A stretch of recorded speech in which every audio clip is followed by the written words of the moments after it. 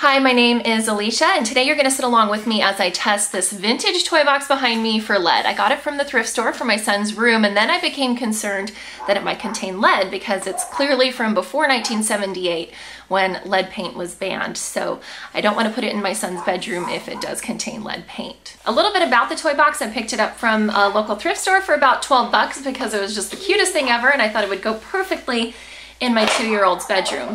It does look homemade by maybe a grandpa or a dad for his son, which in my opinion makes it more special, but it also ups the chances of it being lead paint because you never know what kind of paint people have laying around in their garages or sheds that they might have decided to use up on a project here or there. Here's the kit we'll be using. You can find lead tester kits at pretty much any local hardware store unlike asbestos, which you have to call in a professional to do. So we picked out this one. It's made by 3M and it was about nine or 10 bucks, again from Home Depot and it comes with two tests and they had two options there. The other one was closer to $30 and it came with six tests. Oh, there's what it looks like inside. It's got a couple of vials, so it's gonna mix that liquid with that um, powder once you break it. So again, I'll be testing the blue and the white paint and I'll zoom in and get a close-up of when I do it. So we're crushing these two parts of the barrel. I don't think you can see that, it's kind of washed out. Okay, we're gonna, there's crush A and crush B and we're crushing these two parts of the barrel together. That's kind of hard to press. Okay, here we go.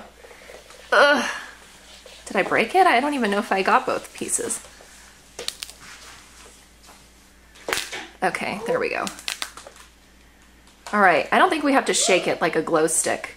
That's what these remind me of, those glow sticks on Halloween. You break the glass inside. All right, so now let the liquid saturate the tip.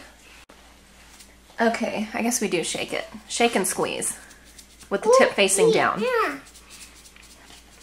until the yellow liquid comes to the tip of the swab. Okay, 30 seconds. Looks pretty good so far, so good. So, so far so good. It's not turning red or pink, um, but it has kind of gotten dirty. Let's see if it'll focus on it. There it goes.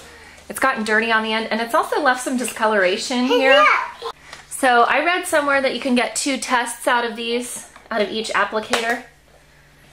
But I'm just gonna start a fresh one just to be on the safe side. So same thing, crush each point. And then while you're squeezing, shake it. Okay, it's already got getting, getting the uh, yellow liquid out. Ugh, it does look like a dirty cigarette filter. All right, so now we're gonna test the white paint. I feel like Calleigh Duquesne from CSI Miami. Is there blood in this? I'm gonna try and get a little bit more liquid out. Okay. So we're supposed to rub for 30 seconds. It's just turning yellow.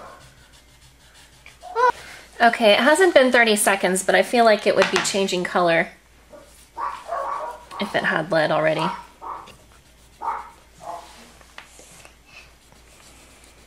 All right, good news. Neither of them turned pink or red, so it looks like we are lead free, so that's a big relief. Now I just need to figure out how we're gonna refinish that and especially how I'm going to preserve those cardboard wall hangings, those super cool retro cardboard wall hangings that are adhered to the front.